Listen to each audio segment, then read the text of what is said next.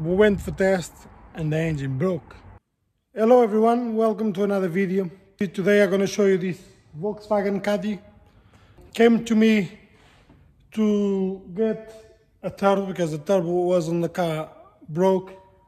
So, um, long story short, I fitted the turbo, a brand new turbo from Skilla Turbos, and the car still wasn't right. And I asked the gentleman what's the um, the setup on the car, like camshaft and pistons, and he told me everything. Everything has been replaced. Um, okay, I just stick the turbo on, and after I put the turbo on, the engine runs really smooth and everything, but I have no power still. So I changed map sensor, I checked uh, every single thing on on the van. Um, on the end, I just fuck it. I'm gonna take the engine cover to see what's look like on there. But, but trust me guys, I don't think I have videos from the car was running. No misfire at all, like smooth, really, really smooth running. But it likes, it gets like to two, two, three thousand RPMs, loses all the power, like struggling to go. I'm gonna show you now what's the problem is, or was got the camshaft out. And for some reason the camshaft has been seized or it's been on this engine for a long long long time. Uh, look at the lifters. The lifters has a, a gap. Not a gap um, let me take one of them off if I can. Ooh. I can't I need to get the screwdriver. If you see there it has like a hole on the lifters on all of them all of the lifters they are damaged. But that's not the worst thing. The worst thing is the camshaft. You guys won't, won't believe this. Look at this. This is the camshaft. It's rounded it's all rounded off. And to being a brand new camshaft or was new camshaft look at it. All of it all of them the lobs is rounded off. Rounded off. I'm gonna bring the new one and put on the, the side of this so i can show you. Even the, um, the caps here is on the red so either they're using incorrect oil for this engine or they have a low miles. But I mean like for this to happen, like this, minimum 200,000 miles. And the car itself doesn't have 200,000 miles. So, you know, could be done by the oil. But I'm just gonna bring the new camshaft and I'm gonna show you what it's like. So there you go guys that is the two camshafts. If you can see, this camshaft is on same position as that. Yeah, you have the shaft here, but look at this. I never seen anything similar to this. I've seen like one or two worn out, but not all of them. Look, look, look here. Look at the difference between this one and that one there. It's incredible. And this metal should be somewhere on the engine. You know, look, this is round. It's not, it doesn't have this anymore. It's so incredible. It's, it's unbelievable. I never seen camshaft so bad as this one. So I'm doing this video not to try to teach anybody a lesson or anything. Just guys, make sure you guys use the, the right oil. Make sure when you skim the heads, you, you measure all the tolerance between the valves, the lifters and all of that.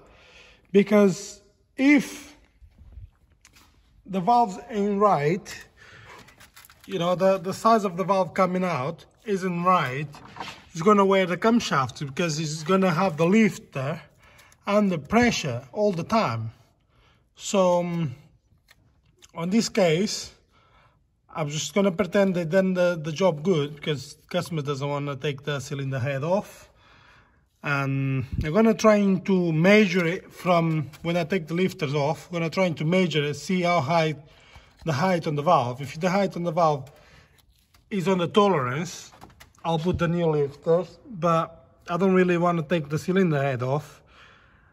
But if he needs to, needs to, but you know, is something, if, if the camshaft been replaced, is something went wrong on this or wrong oil or don't know. It's hard to explain to what it is because it's, it's incredible. You can actually see, I think it's the wrong oil because if you see here, this oil is, is kind of sticky to, to the rocker cover and all of the engine as well. They normally come, come pretty clean. But I think once I fit the, the, the camshaft, uh, I'm gonna take all this oil off, put new one in. Probably gonna use cheapest oil first, run it for a while, then take the oil off and put the new one in again. Because either it doesn't look good and even this oil, they may damage the, the, the turbo, you know, because for the camshaft to wear that much, for this camshaft to wear this much, the metal, you know, you're gonna leave little metal thingies. So the metal will be with the oil, you know, on or maybe on the oil filter and all of that. But is it the oil filter cuts everything? I'm not sure. Um, so yeah, just something a bit different for you guys. Engine is fucking. Yeah, um, engine is knocking, man. Yeah, when you're trying to rev it, rev it and the engine knocks.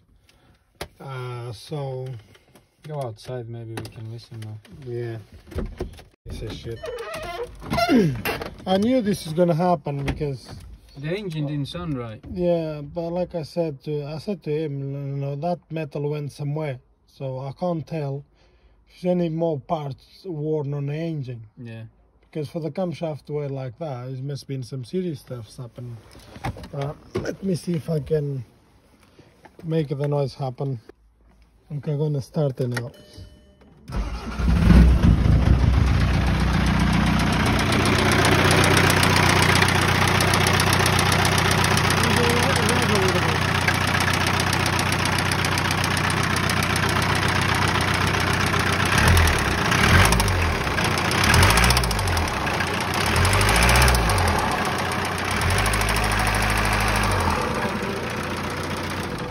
So this is a few months later uh, after we replaced the camshaft and the turbocharger on this car, on this van, the Caddy van. You've probably seen on beginning of the video uh, the camshaft is all worn, all worn, just literally is round, you've probably seen it. And uh, the lifters were all damaged and everything. Um, long story short, fit the camshaft, the car went fine. Uh, I took it down to Louis' house, about 40 miles from me. Um, we fitted the base tune, we went for test and the engine broke completely. Not completely, start to make knocks and lost all the power and everything. So um, yeah, it's not a very good sign. Apparently the engine was on this van, only had 500 miles since it's been built. Um, I took the engine off, took the engine off. Uh, we're gonna be sending the engine to the guy actually built the engine in the first place from this van. And I'm gonna show you the, the engine. So this is the engine uh, I took off the van. This is the brand new camshaft, only done like 40 miles from my house to Louis' house. And I don't know if you guys can see there, the camshaft is already start to going and only done like uh, 40 miles. And as a customer said to me, this engine only done 500 miles with a new camshaft and everything. So um, I'm assuming by what this is happened here, and all of them, you, can tell and on all of them start to worn out. You can actually see there, start to, to go. And you can see the, all the marks and everything. Look, look at this mark here on this lobe. So somehow down the line, uh, this engine's been screwed up big time. I don't believe it's lack of oil pressure because tested the oil pressure on the switch. The oil pressure was fine. And I cranked the engine with um rocker cover off and oil gets all the way up here. But it's knocking really bad. I think maybe it's a rod or something like that but I've been told this engine is a BKD engine uh, BKD block sorry. And I can't actually see the the the number. I'm probably trying to scrape this off just to see it. But apparently it's a BKD block with oversized pistons. I don't know. The only thing I know I'm gonna take the new bits and I'm gonna send back with the old bits to the guy who built it in first place. So I have removed the camshaft and look this is in the black lifters. Look at the state of some of them. And they only done 50 miles I guess. 40 miles I think from here to Corby is like 40 miles but this too has a lot of wear I think the pistons are hitting the valves if I'm not wrong but I'm gonna take the lifters off we're gonna put all parts in and we're gonna send the engine to the person person person who built it. And they'll let them figure out what has been done wrong on it and they'll bring me the engine back and fit back on the van. But I still want to see the engine code uh, I'm going to turn the engine around and clean that just to see what the engine code is. Well apparently this engine is a BJD so apparently I checked it and this engine is a Caddy engine. I think this engine is original from the Caddy but apparently he's changed the rods on it. Um, God knows God knows what's been done to it because it's, it's not right. And you can't explain a camshaft to work 500 miles. Um, you know and this is only 40 miles from here to Corby. Is like half an hour driving. This is like half an hour driving is already worn. So um, yeah God knows what's been done to this engine so I'm gonna be I'm gonna be sending this engine back to the person person who built it and see what they're gonna do so I got to build the engine for the Caddy and this is actually a stock block, ASZ block. It came off a, a Seat Leon. Um, you might can see there here ASZ. Um, what I to it, I stripped it all, uh, ported the pistons. As gonna have a bigger turbo, I do recommend port the pistons to lower the compression down a little bit. Uh, I done the conversion for EDC 16. For who don't know what is EDC 16 is the newer version of the ECUs from, if I'm not wrong, 2004 onwards. All the cars take takes a, a, sensor similar to this, and if you install this engine on the um, on the caddy where this goes, without to do this, the car won't start because it's not reading what we expect to read. Uh, the sump is still off. Everything needs to be cleaned. Um, assume the cylinder head to be skimmed. So this is all the gaskets, head gasket, head gasket set. So basically all the seals. Um, the head it's been for skim and at the same time they changed the valve seals inside the, um, the valves. This is the crank sensor. And this is the box of the, um, the crank sensor. This is the box of the crank seal. Just to, to show to show you guys which parts i'm using. Uh, pd150 head bolts cylinder head scheme. Now i'm gonna clean all the the ducts and just give it a clean. And assembly on the engine. Then assemble the engine on the actually van.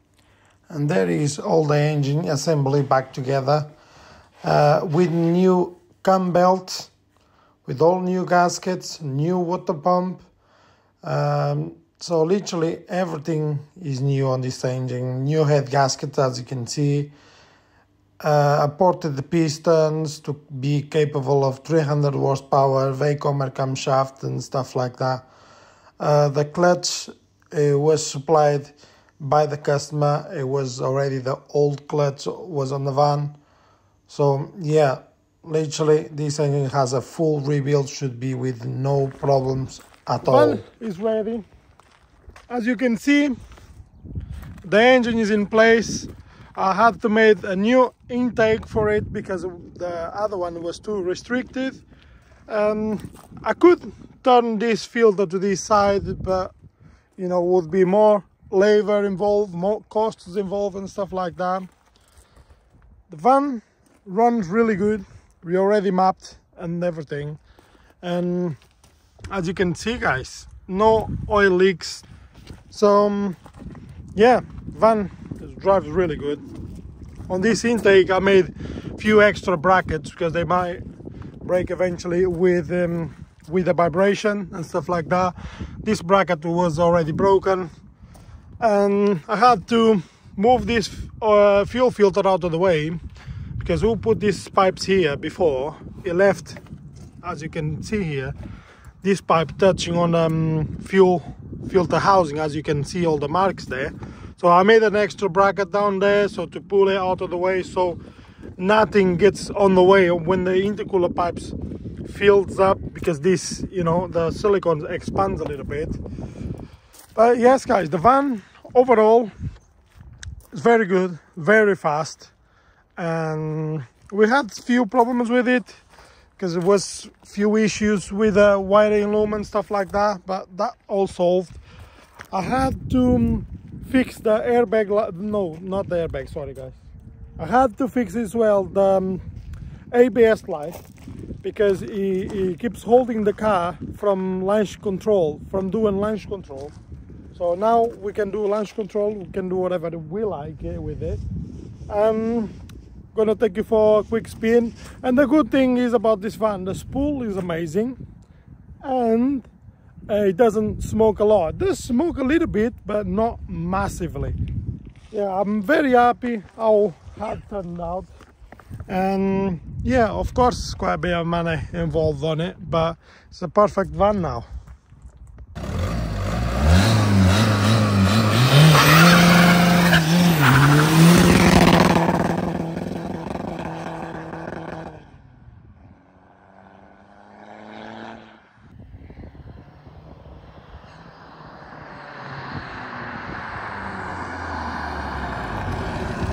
Guys as you can see only light the van has is the light for the bulbs and the airbag and that's a traction control but I can turn that off and on. So um, and the fuel light. So I fixed all the other issues ABS and stuff like that. And yeah the van is really good really fast and I'm gonna drive and I'm gonna try and show you the the speedo. Is amazing how the turbo spools as well. And remember, this turbo is a 2060 VKLR from Skillet Turbos. It has camshafts and stuff like that. Everything helps together. Let's go.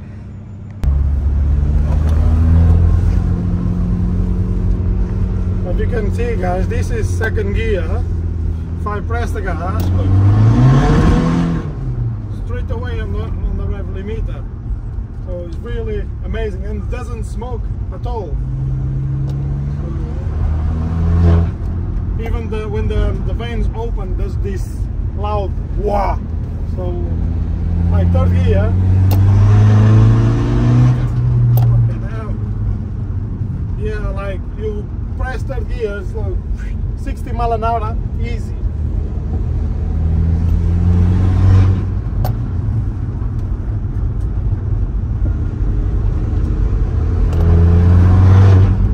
That's third gear, really strong. And I'm more happy about the fact it doesn't smoke. If you put the camera there on the oh, dash flat out,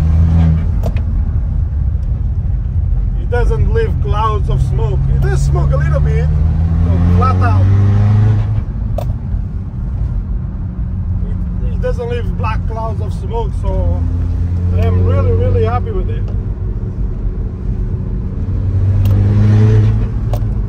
You can even hear the turbo. Mm-hmm. I'm gonna try and spool. What's that? Pull this. I'm gonna try and pull second gear here, guys, for you to see it. But second gear.